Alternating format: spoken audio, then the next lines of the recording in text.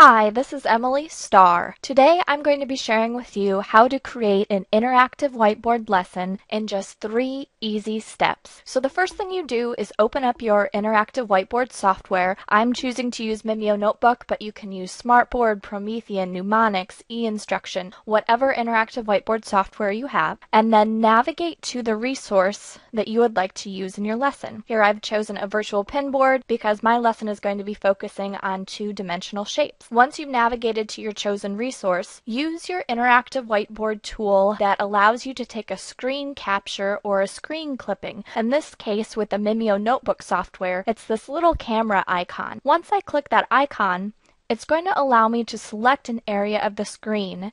And what I'm doing is just taking a picture or a snapshot of what that resource looks like. So really it's just taking a photograph and it automatically drops that photograph into my interactive whiteboard software. The reason we've taken this photograph and dropped it into our interactive whiteboard software is so when I get to this point in my lesson, this photograph is going to refresh my memory of the website that we're going to go to and the resource that we're going to use.